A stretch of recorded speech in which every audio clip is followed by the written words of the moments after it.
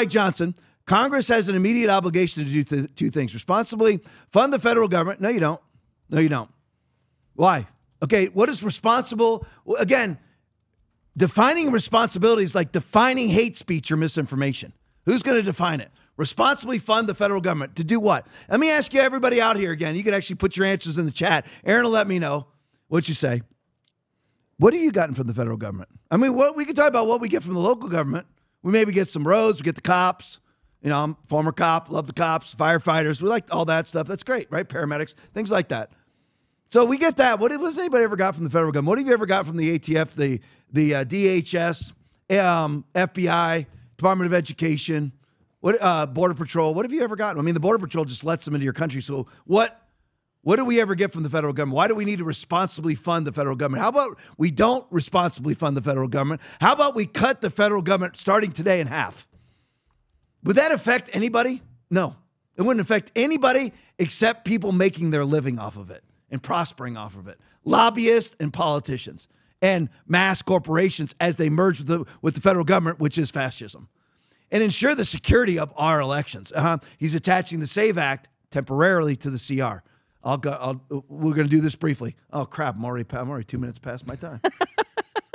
crap! I said ten fourteen. Man. All right, I'm gonna do this quick, quick, quick, quick, quick, quick. I'll be done in the next a couple minutes because we owe this to our constituents. No, Mike, you can take what you owe it and shove it up your own caboose. We will move forward on Wednesday with a vote on the six month CR. What is the CR?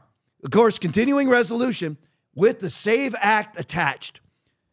Okay, first of all, you can't do anything with the SAVE Act right now. SAVE Act is to ensure that our elections are secure. In other words, the SAVE Act means that you can't vote unless you are a citizen of the United States of America, and that puts in place. I mean, that that allegedly the SAVE Act makes that concrete in law. Well, is that going to affect this election?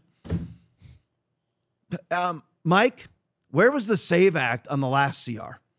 Where was the SAVE Act on the last minibus that you passed in May or April of this year for $1.7 trillion that you used to fund abortions up to the moment of birth and even after birth, that you used to fund transition surgeries for illegal border invaders and for United States citizens that you used to that you used to fund in that minibus package of 1.7 trillion dollars you use that money to lop off the penises, breasts, and testicles of 14 year old boys.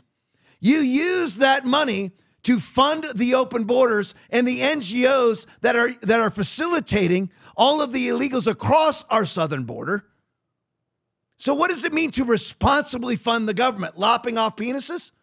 Funding, funding leftist NGOs in the Darien Gap that are sex trafficking children across our southern border and drug trafficking fentanyl across our southern border and labor trafficking women, children, and men across our southern border as a Catholic charity that's responsibly funding government. And again, that 1.7, the 1, 1.7 minibus that he passed back in April or May of this year, that's part of the 6.8 trillion dollars spent in fiscal year 2024, which is October of 2023 through October of 2024, 6.8 trillion dollars, and we bring in between four and five trillion dollars worth of taxes, tax money.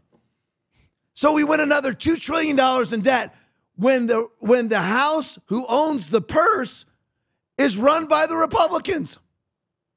You can say no anytime you want. They can defund the FBI right now. They can defund DHS right now. They can defund Alejandro Mayorkas right now. They can defund the FBI and Christopher Wray right now. They never do it. Why?